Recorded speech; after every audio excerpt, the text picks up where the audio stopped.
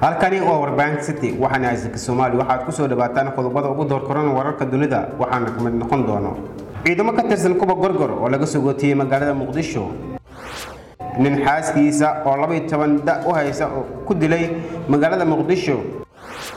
Maxkamadda ciidamada qalabka sida qaybta gobolka galgaduud oo dhegaysatay galdacwadeeda qodobadaasi iyo kuwo kale ayaad ku daawan doontaan warkayga ee u diyaargarooba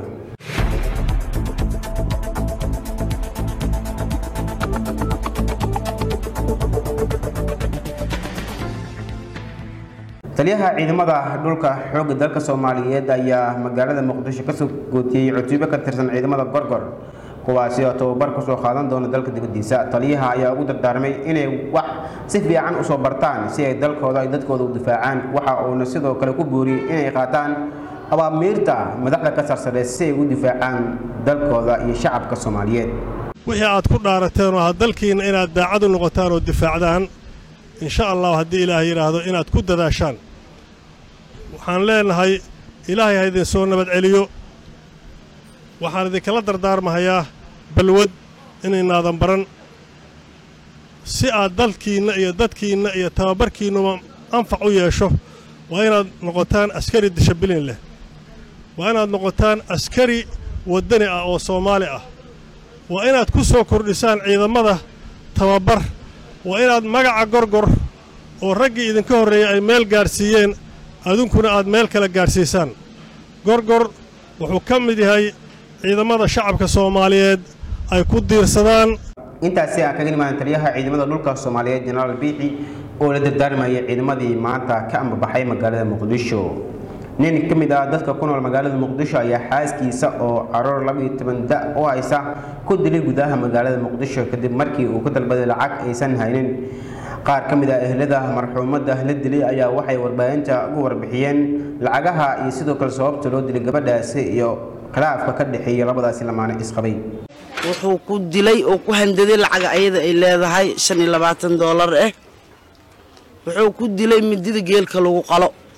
Si micnaha qof xitaa iska daaya qof wax ku dhalay qof kalo xitaa islaamid aan loo dilinoo u dilay marka ilaahay waxaan ka baryaynaa inuu naxariista janna ilaahay siiyo asigane xaqeeda micnaha inuu ilaahay u soo birbiriyo oo cadaaladda wax loogu qabto oo micnaha cadaaladda ay xaqeeda ay u soo dhiciso. Intaasi aan kaga nimaano ehelada gabadhooda lagu dilay gudaha muqdisho. Maxkamadda ciidamada qalabka sida qaybta galmudug ayaa bilaawday dhegeysiga galdacwadeeda islamarkaas loo soo gudbiyey maxkamadda. Gudoomiyaha maxkamadda ayaa sheegay in si toosa galdacwadeedka maanta ugu furmay lana rajeynayo in sidaa waafaqsan sharciga gacanta lagu soo dhigo dambiilaha iyada oona baaritaano kala duwan la marsii doono. Maxkamadda gobolka galguduud markay aragtay qodobka boqol iyo shan xeerka habka ciqaabta soomaaliyeed ee ka hadlaya ishorstaaga is-horstaagyada markay aragtay qodobka boqol iyo lix xeerka habka ciqaabta soomaaliyeed. Markay aragtay warqadda sumadeedu tahay ma ga ga da ga ga. Ujeeddada oo kuna taariikhaysan toddobadii bishii lixaad labaatan labaatan iyo kow ujeeddadeeduna tahay muddayn dacwo iyo horkeenis maxkamadeed. Go'aanka maxkamadda maxkamadda waxay diiday is-hortaagga qareenada maadaama aynan jirin xilligii falka uu dhacay xilligii muddada ay ku ekeed maxkamad racfaan oo la horgeeyey ama xafiiska xeraalintu uu horgeeyo eedeysanaha sidaas sidaas daraaddeed maxkamaddu waxay go'aamisay in la sii wado dacwadda. Intaasi aan kaga nimaano gudoomiyaha maxkamadda. Agaasimaha hay'adda socdaalka iyo xukuumadda federaalk soomaaliya ayaa sheegay inay sameynayaan guddi ka hortagayo socdaalka sharci darada ah ee ka jira qaybo ka mid ah soomaaliya. Waxa uuna sheegay guddigaasi in ay ka wada shaqayn doonaan guud ahaan dalka si ay wax loogu qabto sharci darada socdaalka iyo jinsiyadda.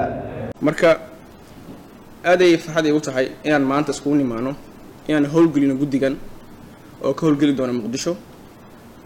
Kadibna aan ku sii ballaarin doono qaybaha kala duwan ee dalka. Sidaad la socotaan hay'adda socdaalka iyo jinsiyadda waxay mar walba aada ula dagaalantaa dembiyada socdaalka lagu galo. Haddaan dib u fiiriyo sanadii la soo dhaafay laba kun iyo sagaal iyo tobankii waxay hay'addu ka eh, ka horsagtay laba boqol afartan iyo sagaal dembi laba kun labaatankii afar boqol todobaatan iyo sagaal dembi laba kun koo iyo labaatanka oo weli haddaana dhammaan waxay marayaan in ka badan saddex boqol oo kiis. Intaasi aan ka niman agaasimaha dabba khasaaro kala duwan geystay ayaa ka kacay magaalada muqdisho ee caasimad. Dalka dabka ayaa waxa uu ka kacay isgoyska dabka carwo halkaasi ku taala dabka ayuu wuxuu ka dhashay dhanka iyo korontada. Mid ka mid ah milkiilaha carwadaasi oo la hadlay warbaahinta ayaa sheegay khasaaraha soo gaaray iyo sidoo kale mid ka mid ah dadka halkaasi ku ganacsada waxayna sheegeen khasaaraha uu geystay dabka uu basbeeray wixii carwadaasi lagu iibinayay. Islamarkaasna ay haatan tahay mid faaruq ah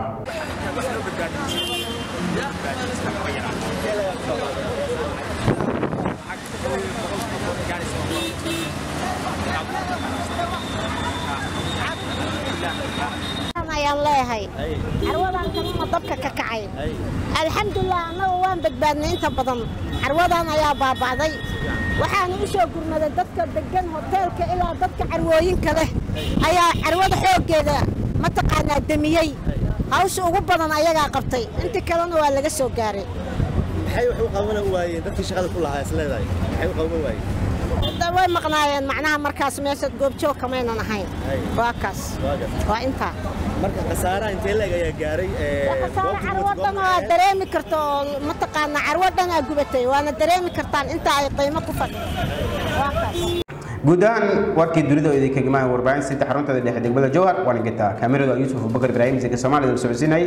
Guux ayaa soo saaray farsamadu waa guux tan iyo kulanti dambe sidaa i nabadgelyo